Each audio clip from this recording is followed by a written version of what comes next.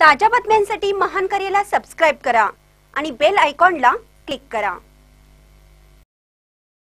तारदाळ येथे भारत बंदला उत्स्फूर्त प्रतिसाद. शेतकरी संघटना व ग्रामस्थांनी केली निदर्शने. हातकणंगले तालुक्यातील तारदाळ येथे केंद्राने मंजूर केलेल्या कृषी विधेयकाला विरोध दर्शवण्यासाठी आज शेतकरी संघटना व ग्रामस्थ यांच्या वतीनं जोरदार निदर्शने करण्यात आली. केंद्र सरकारने पारित केलेला नवीन कृषी कायदा शेतकरी विरोधी असल्याचा आरोप करत दिल्ली येथे सुरू असलेल्या विविध राज्यातील शेतकऱ्यांनी केंद्रीय कृषी कायद्याच्या विरोधात गेली बारा दिवस आंदोलन सुरू केलं आहे. या आंदोलनाला पाठिंबा म्हणून तारदाळ येथील शेतकरी संघटना व काही राजकीय पक्षांचे पदाधिकारी व कार्यकर्ते यांनी भारत बंदला पाठिंबा देत गावातील व्यवहार बंद ठेवत छत्रपती शिवाजी चौकामध्ये केंद्र शासनाने मंजूर केलेल्या कृषी विधेयक कायद्याच्या विरोधात जोरदार निदर्शने केली.